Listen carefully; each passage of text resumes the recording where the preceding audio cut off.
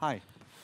Hey Gijs, hallo. Hi. Wat leuk om jou hier te Ja, treffen. heel erg leuk. Ja, Eh, mijn naam is Gijs Groenteman. ik ben uh, Aafbrand We Korstius. zijn getrouwd in het dagelijks leven. Ja, Eh, we nu zijn niet, ook. Nu ook. En we zijn niet alleen getrouwd, maar we hebben ook allebei een podcast. Ja, Waarin we elkaar ja, op leven en dood beconcurreren. ik heb een podcast met Mark-Marie Huibrecht. En ik met mijn schoolvriend Teun van der Keuken. Aaf beweert dat zij twee keer zoveel luisteraars heeft als wij. En dat is zo. Kan ik me bijna niet voorstellen. Maar, Maar, nu gaan we toch even samenwerken. we hebben besloten in één keer in vrede samen te werken. En dat doen we hier. En we gaan het hebben over kerst en Aaf. De hele tafel is gedrest met kersttakjes. Er staat hier een klein Hartstikke gezellig. kerstmannetje. Er staat hier een klein sneeuwpopje. Er zitten hier allemaal kleine garnalen Ja, in een, want in we gaan, een een, bakje. we gaan een kerstklassieker maken. Een echte kerstklassieker. Hebben we nog nooit gemaakt. Nog nooit gemaakt. En Aaf, ik ken je langer dan vandaag. We kennen elkaar al bijna 16 jaar, geloof ik. Ja. En ik weet dat jouw hartje hier sneller van gaat kloppen. Ja, daarom was ik hier ook wat eerder om dingen in bakjes te doen. Ja, maar ook deze, al deze takjes en dat, die poppetjes. Ja, Daar, daar, ga jij heel lekker op, toch? ga ik heel lekker op. Waarom ga je daar zo lekker op? Ehm, moeten we niet de timer zetten? Oké. nou, we hebben ons voorgenomen om in acht minuten een absolute kerstklassieker te maken voor het kerstdiner als lekker voorgerechtje. En dat is een gerecht dat we nog nooit gemaakt hebben. Echte garnalencocktail. Echte garnalencocktail. Want wat is er leuker dan met kerst een garnalencocktail eten? En we hebben besloten dat om acht minuten te doen. Ja. En in acht minuten ook tegelijkertijd ons hele gevoel voor kerst met jullie te delen. Ja, want eh, de, de eh garnalencocktail is natuurlijk het ultieme burgerlijke voorgerechtje. ja, en dan moeten we even zeggen dat we het burgerlijk met de grootste vorm van respect zeggen. Ja, juist. Ja, maar er zijn mensen die denken dat dat soort denigreren Oh, ja, is nee. van gadverdamme wat burgerlijk. Nee, juist goed. Maar als wij burgerlijk zeggen, Dan zijn we juist blij, want ik ga nu even het sausje vastmaken. ja, dit vind ik heel erg jouwachtig. Kijk, zo goed. Er staat er acht eetlepels mayo. Ja, En dan ga je het ook echt op een... E Kijk, ik doe meer gewoon, ik doe gewoon acht nee. kwakjes. Dit is de precisie, dit is, dit is bijna Ja, het is precies, maar het is, atoomsplitsing. maar even nog als inleiding. Eh, we doen dus een burgerlijk gerecht omdat we het gaan hebben over onze anti-burgerlijke kerstopvoeding. Nou ja, dat is natuurlijk toevallig zo. Dat we allebei een anti-burgerlijke kerstopvoeding hebben gehad. Ik zat net te denken toen we daar urenlang in de coulissen stonden te wachten Ja. voordat we op mogen. Dat eigenlijk als je onze gezinnen had samengevoegd, Oh, dan hadden Toen we jong een waren, dan hadden we gewoon een perfect gezin gehad Ja. met twee jongens en twee meisjes. Ja, Namelijk, jij was alleen met je moeder. ja, en jij was met je zus, je broer en je alleenstaande vader. Ja, je moeder was dood. En onze ouders kennen elkaar notabene. die kenden elkaar hartstikke goed. Ja, Dus als die nou gewoon bij elkaar waren gekomen en die gezinnen hadden samengevoegd, dan oh, was het wel was een beetje, gezellig. beetje sus geweest om met onze dochter te spreken als wij dan daarna getrouwd waren en een relatie hadden gekregen. Dat had echt niet gekund. Had echt niet gekund, dus Nee. dat was wel jammer geweest. Ja. Maar het was ook weer heel gezellig geweest. Ja, want we hadden dus allebei een alleenstaande ouder. Ja. En dan ook nog, eh, ik zet mijn glaasje even op de grond. Ik vind dat jij iets te veel wiebelt. Ehm, dan hadden we ook nog eh. allebei een alleenstaande ouder die niet heel erg hield van, ja, op de traditionele manier kerst Nou, vieren, toch? Ik denk eigenlijk dat mijn moeder, net zoals jij, eh, Eigenlijk dat wel leuk vond. eigenlijk diep van binnen ook best wel gewoon hield van Ze houdt wel van gezelligheid. Houdt heel erg van gezelligheid. Is bij ons ook zodra er een feestdag is, ja, is ze niet weg te slaan eigenlijk. Nee, en eh, ze allemaal hapjes mee Ze haalt dan tassen vol met, met eten van de Holtkamp en andere, andere heerlijke dingen. Ja, Dus het is niet zo dat zij nou echt wars is van een beetje gezelligheid. Terwijl jouw vader... En, dus ik heb ook he- eigenlijk... Ik heb niet, zal maar zeggen, een, een burgerlijke herinnering aan onze Nee. kerst. Als in van, eh, er is een grote tafel en daar schoon- zitten opa en oma. Daar zitten opa en oma en daar zitten de ruziende kinderen en daar zitten de kibbelende ouders. Nee, dat heb jij en helemaal dan niet. moeten we kalkoen eten en dat soort nee, dingen. en dan moeten we opzitten. En dan moeten we opzitten. Dat, die herinnering heb ik helemaal niet. Maar ik heb ook niet een Dit is ongezellige herinnering. Oké, Want wat, ja. wat deden jullie met kerst? Nou, wij gingen altijd met kerst. Mijn moeder had een soort groep met vriendinnen waar ze Ja. veel mee omging. En dan gingen we vaak met z'n allen, of dat deden we eigenlijk altijd, naar een heel groot huis in België. Ja, En dan gingen we daar verpozen. ja. En er werden bijvoorbeeld, werd altijd, ik herinner me een, een, een, een toffee blik waar altijd heel veel hash en wiet in zat. Dus er Ja. werd, werd veel gebloot door de grote mensen. Was jij het enige kleine mens? Eh, ik was het enige kleine mens. Mijn moeder was ook de enige met kinderen in dit, met een kind in dit gezelschap. Ja, Maar ik had mijn, mijn eh, jeugdvriendin Thijsje ging wel vaak mee. oké.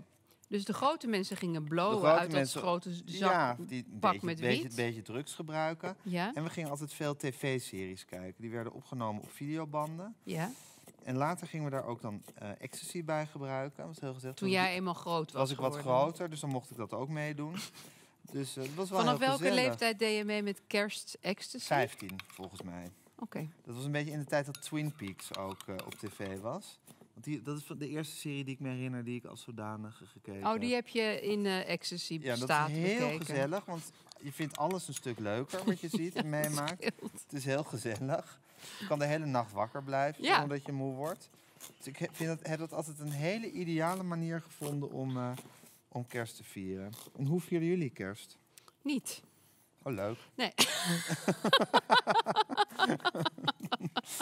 ja, dat vond ik helemaal niet leuk. Maar ja, mijn vader hield niet van eh, gezelligheid en ook niet van feestdagen. Nou, wel van Sinterklaas trouwens. Dat, is, dat heeft hij altijd wel met ons gevierd. Dus dat was heel fijn. surprises geknutseld en, Ja, en gedichten. Gedichten. Wat gek dat hij daar dan ineens wel weer een ding voor Ja, dat had, snap hè? ik eigenlijk ook. Maar ik denk omdat eh, kerst meer met christelijkheid samenhing en hij echt best wel Elke anti-religie vorm was. van religie werd zwaar door hem ja, en. Sinterklaas, ja, dat kan je bijna niet Dat meer kan je met... bijna geen religie noemen. Nee. nee. Dus kerst, dat, ehm, met kerst gingen we altijd zo ver mogelijk weg naar een plek waar je zo min mogelijk voelde dat het kerst was. Ik wil trouwens even zeggen dat ik net de whisky saus heb gemaakt. Oh shit, we moeten ook wel uitleggen. Ja. Zie je, jij hoopte steeds dat we nu door 24 Kitchen gescout Ja, worden. Maar daarom zeg ik dit ineens. te zeggen. Nee, maar en daarom, wat, whisky saus is dus Mayo, 8 ketchup. eetlepels mayo, 2 eetlepels ketchup en 2 eetlepels whisky. Zit die er al doorheen? ja, en één le- theelepel Worcestershire. Mag ik dit nou proeven? Ja, ik denk dat het hartstikke lekker is. Ik hoest er ook even in. Ja, dan kunnen Maar we niet net- meer aan de mensen hier op kantoor Net de geven. bacille die het, die het nog nodig heeft. Maar goed, dan gingen we naar een oord waar je zo min mogelijk voelde dat het kerst was. Dus, eh, en, Shit, maar dit is echt heel lekker. ja? ik dacht eigenlijk Shit, dat maar whisky dit saus... is echt heel lekker. Maar ik dacht eigenlijk dat whisky saus whisky gewoon uit een potje kwam. Maar als je het zelf maakt, is het echt super lekker. saus. Holy, ik Halleluja. meteen dronken. Maar ehm, dus dan gingen we naar een Caribisch eiland. En het enige wat je daar van kerst merkte... was dat ze de hele dag kerstmuziek door de boxjes bij het strand lieten komen. Ja. Zo. En die hadden ze in de palmbomen dan gehangen. Ja. Maar mijn vader ging dan En s'nachts... dan kerst, kerstmuziek op Caribische wijze. Dus op Ja, steel drums Steel of drum, gewoon kerstmuziek. Bing Crosby. Steel drum, jingle bells. Ja. Steel drum, alles. Ja. En dan ging mijn vader s'nachts uit bed. En dan pakte hij een kledinghaak uit het hotel. En dan trok hij al die bokjes eh, naar beneden en die, en die gooide die dan weg. Oh ja. Uit was zijn- protest tegen Dat was zijn oplossing voor de kerstmuziek. hey, we zijn een heel eind. Nu moeten we de bekertjes gaan maken. En A, vond je het moeilijk dat jullie nooit... Hadden jullie bijvoorbeeld als een kerstboom? Nee, we hadden nooit een kerstboom. Maar daar had ik wel een Wij hadden oplossing bijvoorbeeld voor. wel altijd een kerstboom, mijn moeder en ik.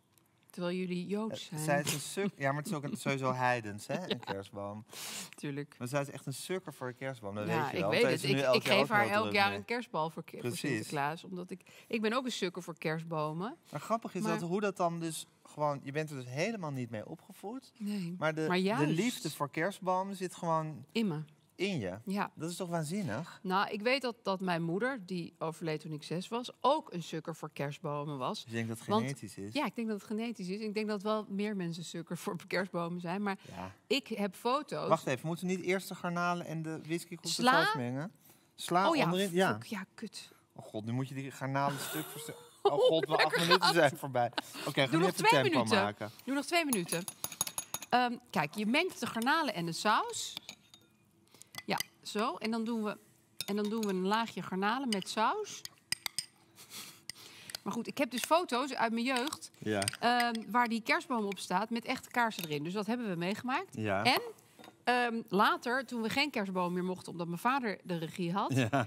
ehm, wachtte ik altijd tot eh, school uit was. Ja. eh, vlak voor de kerstvakantie. Dan zetten ze de bomen bij het vuil. Lief. En dan pakte ik zo'n boom Niet. bij het vuil.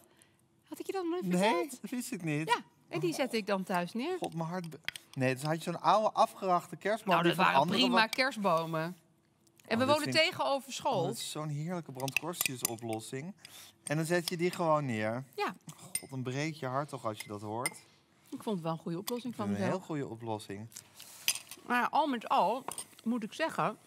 ehm, wacht even hoor. Komkommer, dan de garnalen en dan... We moeten dit nog. Oh, fuck. Ehm, Nou, dan sprenkel ik er wel een beetje zo ja, overheen. dit. We sprenkelen nu charlotte. Wordt vrij heftig. En we sprenkelen nu ook Wat bieslook. Ja, eigenlijk hadden we dat moeten mengen, een beetje. Nee, maar dat is juist goed. Ja, Dit is onze mooi. touch. En dan aan het eind doe je nog als finishing touch een heel klein beetje saus. Die heb ik helemaal... oh, Hier het Ja, hier saus. En ik heb nu heel veel eten aan mijn vingers. Ik weet niet hoe Miljuska Witsenhausen dat doet, maar Nou, dat Die allemaal zo, nooit. zo heel wulps aflikken van mijn vingers. ik ga echt niet Charlotte van mijn vingers Ja, aflikken. doe dan. Nee. Lik hem van je vingers af. Slik hem van je vingers aflikken. Eh, wacht even, even afwerken. Jongens, Garnalencocktail. prettige kerst en gelukkig Proost, nieuwjaar. proosten?